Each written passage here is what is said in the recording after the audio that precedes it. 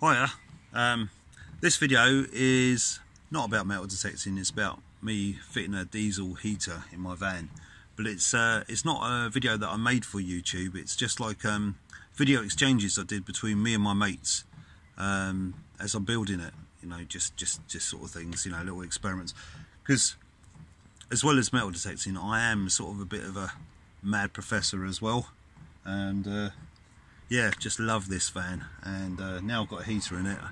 It's great. So if ever I have to isolate, I'll do it in luxury. Literally is. It's 26 degrees in here right now. Loving that. Alright mate, been a bit of a busy boy today, so let me show you what I've done to my van. Well, in the process of. Right, so here we go. So, stripped all the bed out. In there, you can see that, is uh, diesel heater. So it's fill up with diesel there. Obviously take, move the sponge and what have you. And then it takes in air from underneath the van, which would be where the tyres are there. So that's where the tire, the uh, air inlet would be that will go inside the tyre. And there's my exhaust there, listen to that roar.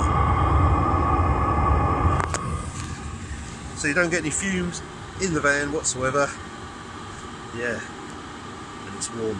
My wife says, uh, Kay says uh, she'd put a clothes horse in there and dry her washing. Actually, I reckon she could probably do it. Right, mate, so this is me with my feet up in my van. Loving it. So, internet over there, TV over there, which I haven't got on.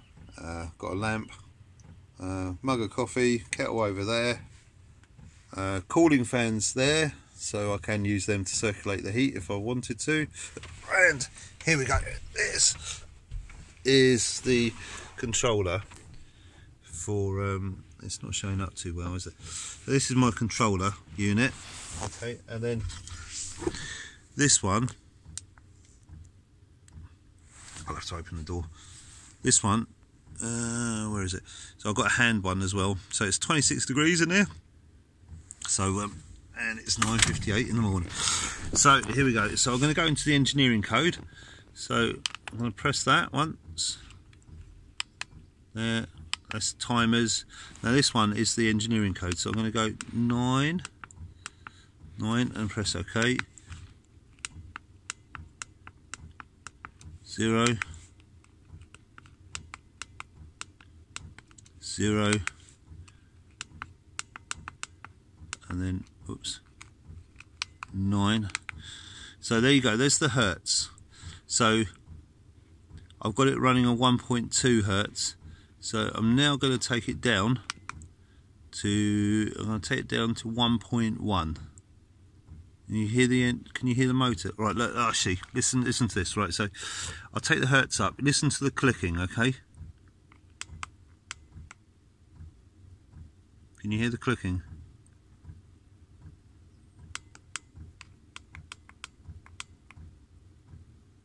So that's the speed of the pump running the fuel in, okay? So what I'm going to do is I'm going to take it right down to 1.1 hertz.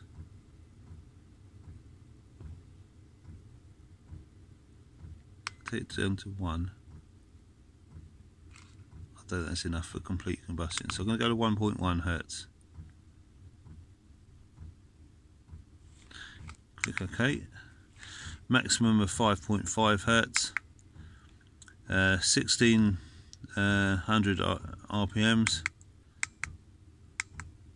and uh, that's the minimum for the fan, and 4500 RPMs for the maximum of the fan.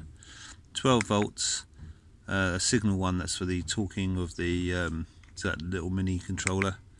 Um, PF5, I haven't quite sussed out what that is yet. And then um, that's it. So there you go, mate. That's how you get into the engineer code. Alright, see you later, mate. Right, mate, so now it's running at 1.1 hertz. And uh, so let's, let's see how it's getting on with that. So here we go. So just so you know what, what's happening there, I don't know if that focuses. Right, so it's 24 degrees centigrade in here. And and it's running at 1.1 hertz. Okay so we're just going to do some checks. So I've got a nice black surface there. So that's 30.7 degrees there. This one there is 28 degrees. That's on the external wall. That's uh, my boarding that goes over the windows. So we just take that black dot there. So it's 27 degrees on that wall there uh, 29 degrees there. And then um, so we do some the, like the back wall carpet bits. So that's 24 degrees on the carpet there. And 23 degrees there. And 21 degrees on this external door here. So now let's go and see if there's uh, ever getting complete combustion or not. So let's have a look I was going to do an experiment uh, um, a technical way of doing it and I forgot all about stuff like this.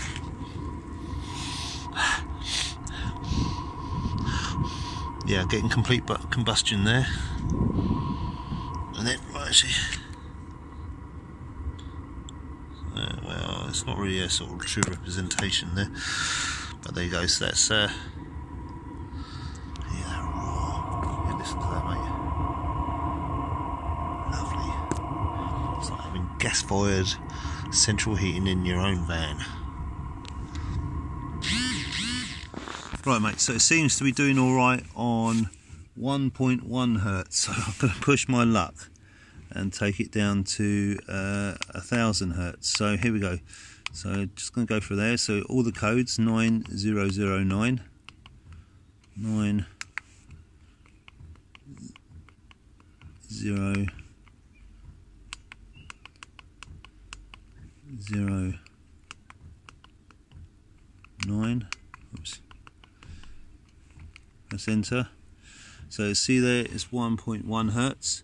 So I'm going to take it down to a thousand hertz 1.0 hertz. And you can hear the knocking slow down. It's okay maximum of 5.5 hertz.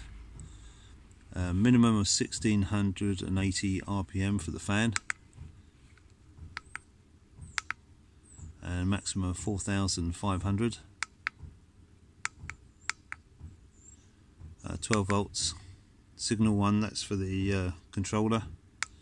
PF haven't sussed out what that is yet and then compile right so uh, I'll upload a video shortly to see how we're getting on that whether we're getting complete combustion temperatures and stuff like that. Unfortunately mate you know this is as good as a science experiment gets um, at the moment in lockdown right see you in a bit Right, so this is my next experiment. So I'm just going to take it through the operating codes. So 9 and then uh, 0 0 9 oops 9 so you see it's on 1 hertz okay so normally uh, the minimum it can run on is 16 hertz. So I've taken it right down to that just so it ticks over nice and slowly. So um, that's that. And the maximum of uh, 5.5 hertz. Minimum of uh, 1680 RPM. And then a maximum of 4500 RPM. And then 12 volts, signal 1 uh, haven't quite sussed that out yet. Right, that's it. So it's 10:38 in the morning. Right, so let's uh, let's see how it goes now. So what the reason why I'm trying to get it run on the minimum amount of hertz as possible. Firstly, that pump is annoying, and two, this is only a little NV200 van.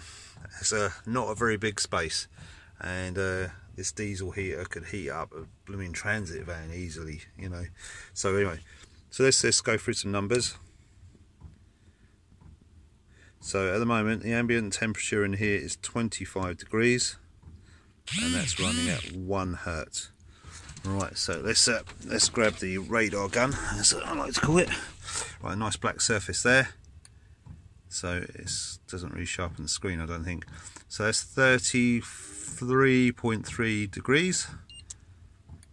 And that one because it's non-reflective there it's 31 degrees. This one down here is 25.3 degrees. Uh, 24 degrees. Now this is a this is the cold wall. I haven't insulated this at all. It was never intended for this use originally, but you see the little black tape up there, so I'm going to aim it for that. So it's 25.6 degrees, that's a cold metal surface there, so it's heated that up nice, that's nice and warm. And then here is 30 degrees. Let's do the roof while I'm at it. Okay, so 22 degrees on the roof, there, 22 degrees That's pretty much a constant 22 degrees right across.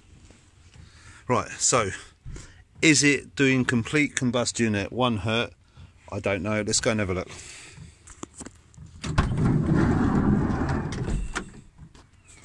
Right. Unfortunately, it's going to have to be the old uh, sniff test. Which, uh, when I was younger, I bought enough dodgy old cars uh, done this a few times definitely getting complete combustion there definitely. I think the best thing to do is start up uh, a little bit warmer you know like uh, 2000 hertz get it nice and hot and then knock it down to a thousand hertz. And that can be your night tick over time. Keep it nice and warm not use too much diesel. That's what I reckon. Anyway this is how I've got it all wired up. So um, it's coming out through the hole there just underneath where my bed is.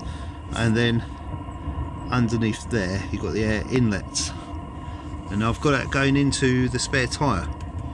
Um, don't forget the air doesn't ever see the inside of your van. It's only just to exchange in the um, in the heater and then chuck it back out. So your van never gets contaminated with any of that but it won't it won't contaminate anyway because it's so far apart. So uh, that's my little setup. Right, so that's my little experiment. One hertz works fine, absolutely brilliant actually. But I think to start off with, you need to run it at like the initial 1600, 1.6 hertz, and then um, get it nice and warm, and then knock it down to a thousand if you're sleeping overnight. That's what I would do. Knock it down to a to the one hertz. It just tick over in the in the background. Not use too much of your battery it's a bit of a win situation and use less diesel as well. Alright, thanks for watching, thanks for subscribing and uh, see you on the next video.